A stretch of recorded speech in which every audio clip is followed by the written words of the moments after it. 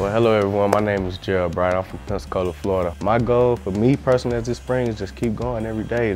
Don't let the day beat you, but you beat the day. I'm destined to be here and, and I got to figure it out while I'm going, you feel me? Well, I'm DJ Williams and I'm from Smyrna, Tennessee.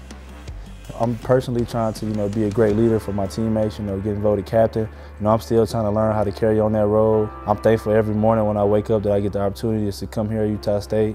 I've never been in a place that's more beautiful. It's, it's nice here and just the people in the town, you know, they really support football. This thing right here is, is more of a camaraderie. Like, we're coming together. Like, it's the unity. You can see the love. You can see the genuine in the coaches and the players. So that's a great thing to have. Uh, I mean, right now, it's just, you know, getting better every day and learning the new things that, you know, the new coaches is teaching us. So we got to have a chip on our shoulder. Everybody got to be on the same accord. You got to know how things going to happen. We got to know how to come together and everything.